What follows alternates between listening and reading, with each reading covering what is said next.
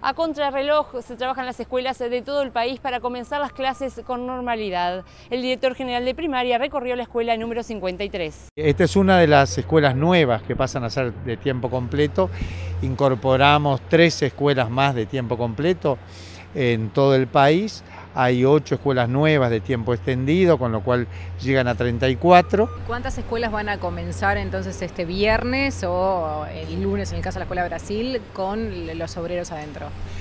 Eh, va a ser aproximadamente 80 o 90 porque hay otras obras que son totalmente nuevas y hasta que la obra obviamente no se entregue, los niños están en sus escuelas de orígenes. Ojalá eh, los representantes gremiales tengan la comprensión de cuál es el estado de las obras y eventualmente si quisieran visitar con nosotros alguna de ellas están como siempre invitados. Hay aulas prefabricadas en muchos locales.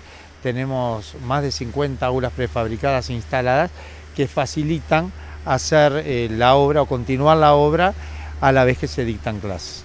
Hoy comienzan las inscripciones, la nueva inscripción para niños de 4 y 5 años. Sí, eh, tenemos alrededor de 4.600 niños que según nuestras estimaciones no estarían inscriptos. Eh, la gran mayoría, cerca de 80.000, lo hicieron en los meses de noviembre y eventualmente diciembre, pero nos queda un núcleo duro, a veces vinculado con zonas rurales eh, relativamente aisladas, eso explica Artigas, Cerro Largo, 33 son departamentos donde nos faltan inscripciones, o en zonas de pobreza y de exclusión social fuerte,